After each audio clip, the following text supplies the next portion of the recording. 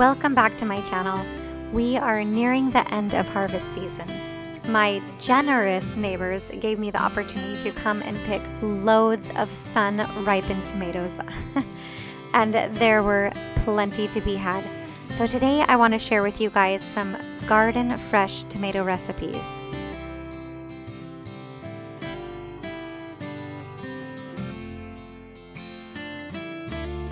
When I first got married, my grandmother gave me two cookbooks. One of them was the Ball Blue Book for canning and preserving.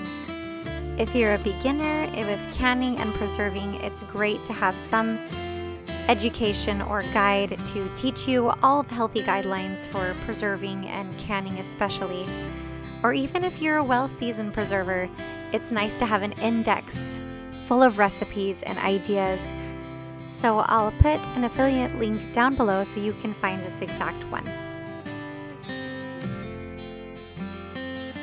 Oh boy, oh boy, there are so many tomatoes and I need to come up with something to do with these tomatoes today because they really are better if you get to them right away. They really don't last long. They've been on the vines ripening in the sun for quite some time and they're ready to be used. So the first thing that I'm going to do is prepare some fire roasted salsa. I made some of this earlier on in the summer and my family ate all of it already. So I need to make a lot more. I don't follow an exact recipe for this salsa. I just take all of my salsa experience and watching what my mom did and throw it all together. I'm going to start out by putting some onions, and peppers. Right here on the grill, I have a nice broiling option on my grill and get it nice and toasted and blackened. I'm going to use all of my large tomatoes for this recipe and I'm going to use about two cookie sheets full of large tomatoes and put those in the broiler as well. If you're wondering, there's about six or seven garden fresh peppers here and a couple jalapenos and about five to six medium sized onions as well. I love having them on the grill, it makes them so smoky.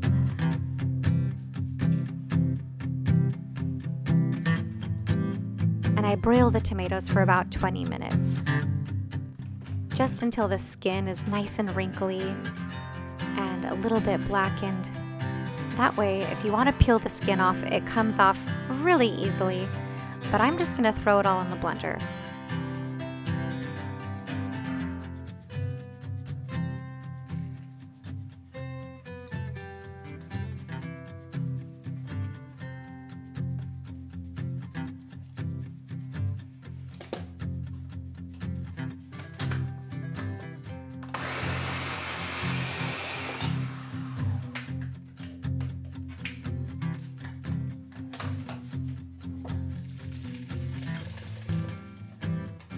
At this point, it really doesn't matter what sequence you blend it, you just keep throwing it all in the blender and it all is going to the same place. And you can do it longer or shorter depending on how you like the consistency.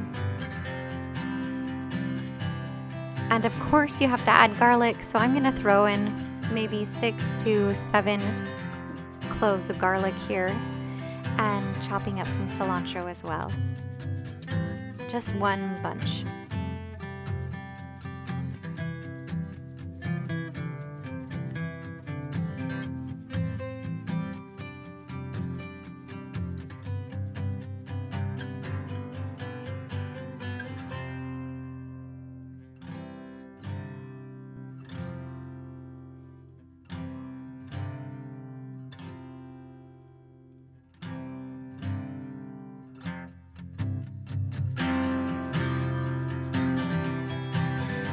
Go ahead and squeeze two to four limes. That's probably about two to four tablespoons of lime juice in here, and two tablespoons of salt.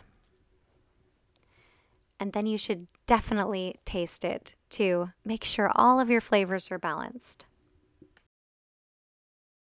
Well, I do see a cup. How does it taste? This is the best salsa I've had Hey, Mom. in 10 years. Hey, Mom. Jaden, you're 10 years old. Yep. So then they got him, but they they couldn't have room for him because they already had.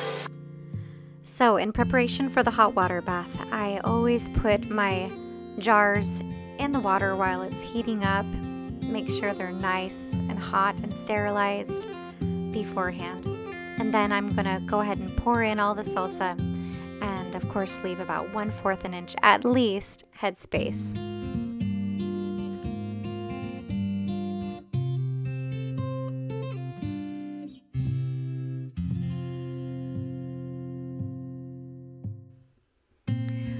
Also put all of my salsa into that pot and put it on the stove and brought it up to heat um, to a low simmer so that the food was hot as it went into the hot jars and, um, and hot while it goes into the hot water bath.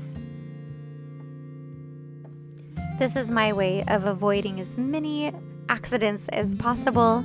Um, but of course, it is possible sometimes for an old jar to break. There's nothing worse than seeing your food floating around in the water. That's not a good sign. The processing time depends on your elevation, so make sure to check that as well. That's another good reason to have the ball book around. It can tell you how long certain recipes need to be processed for for certain elevations.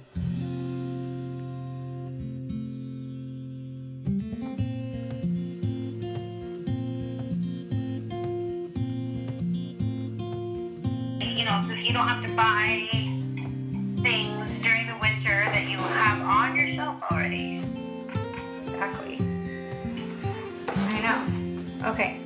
Well, and I do need something to use for all these cherry tomatoes. So, let's see. Okay. I'm gonna try, like I said, the gold tomatoes will be chutney, and then should I do, okay, do you vote ketchup? Is that.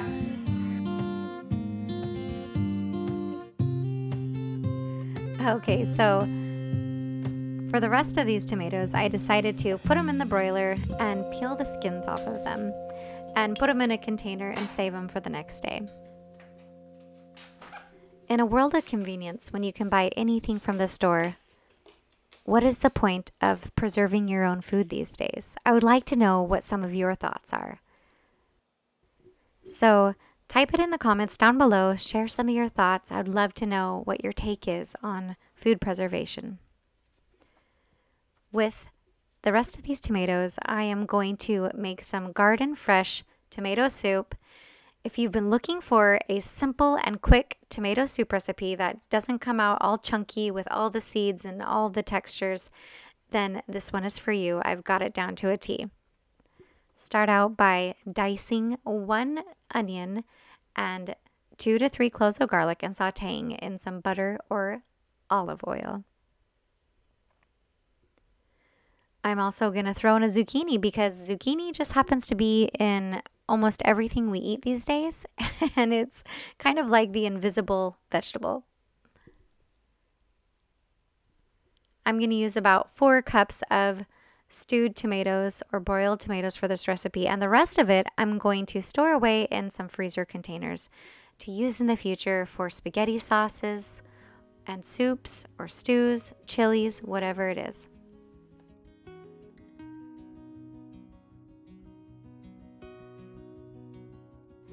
If you need some ideas on what to do with all of your zucchini or summer squash, check out my video on summer squash and what to do with it. I've got some ideas for you. Next, we're going to add one to two teaspoons of salt, about a cup to two cups of water, and some basil. If you have fresh basil, go with the fresh basil. It's always better fresh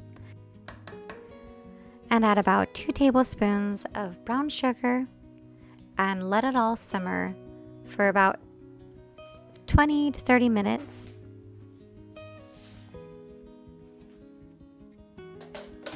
And throw it all in the blender for at least a few minutes. You want it to be nice and pureed.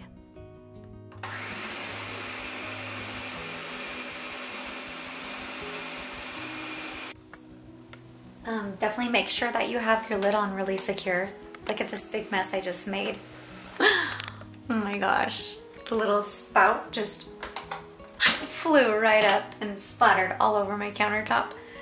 And splashed all over. We're not going for perfection, right? Just almost. Almost perfection. In order to get that perfect creamy tomato soup texture, pour your soup through a metal strainer and really work all of that nice puree through the strainer. You want to have all the good stuff. And what's left is really the seeds and the skins. And for those in your family who might be sensitive about textures, that's perfect for them. And to top it off, add a cup of cream. I am serving our tomato soup with my Irish soda bread recipe. It's buttery and it's rich, and you can find it here on the channel as well. Look forward to part two of fresh garden tomatoes. I'm going to show you what I'm going to do with those cherry tomatoes. Love you lots.